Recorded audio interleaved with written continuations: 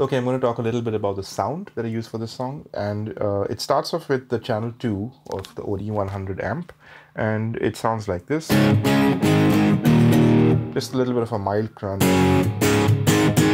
And then I kick in the Maxon SD9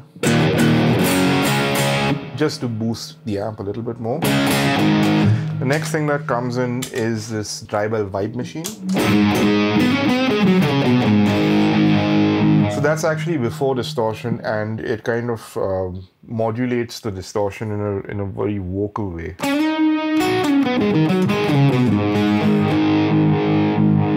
Okay, the next thing we're going to put in is this uh, Eventide H3000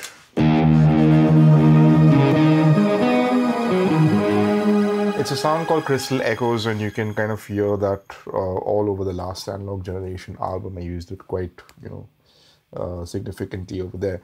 Now that goes into a reverb. It's getting split as a parallel path, and the reverb is after the H3000, that thing. So it kind of smoothens out that out. If you if you listen to just the H3000 by itself, you can hear those a little bit granular crystals and then when you put the reverb on it gives you that lush floaty kind of effect